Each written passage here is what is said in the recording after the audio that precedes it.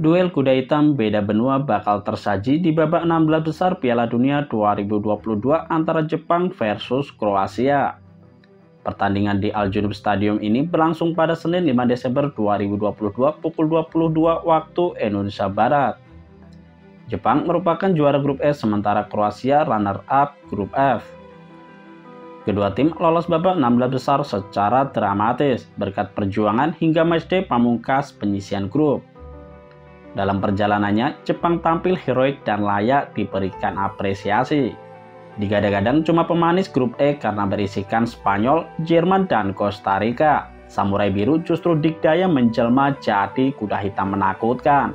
Secara mengejutkan, Minamino CS mampu membalikkan prediksi dengan membungkam alumnus juara Piala Dunia Jerman dan Spanyol. Sementara itu, finalis Piala Dunia 2018 Kroasia lolos fase grup berkat menang saing atas sesama kuda hitam Belgia dan Kanada. Luka Modric CS mencatatkan dua hasil seri dan sekali menang.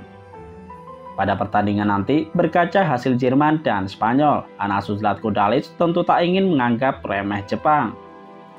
Apalagi para serdadu matahari terbit tersebut terkenal disiplin, ofensif, hingga pandai memanfaatkan peluang sekecil apa pun menjadi gol.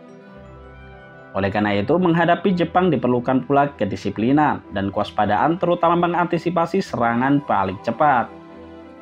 Memakai formasi 4-3-3, Zlatko Dalic diprediksi menurunkan skuad terbaiknya sama saat menahan imbang Belgia.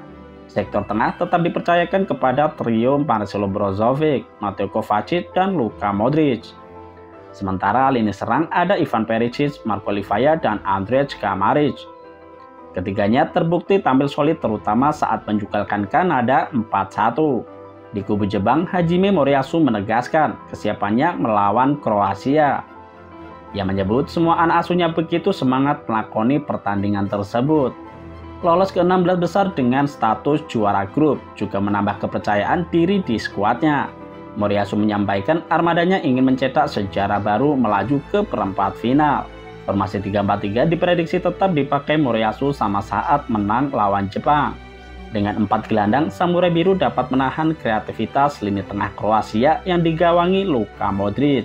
Sementara lini serang mereka kemungkinan bakal ditempati Daichi Kamada, Daijin Maeda, dan Ritsu Doan.